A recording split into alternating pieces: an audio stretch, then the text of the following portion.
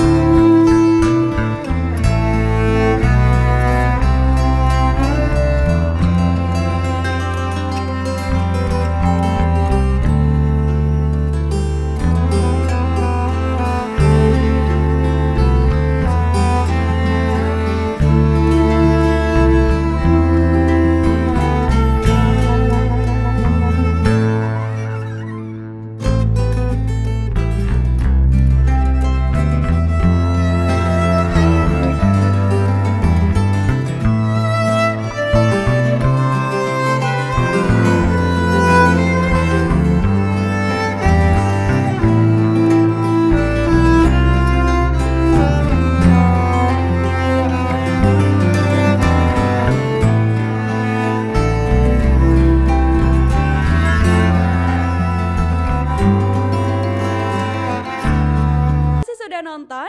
Jangan lupa like, subscribe, dan share ya.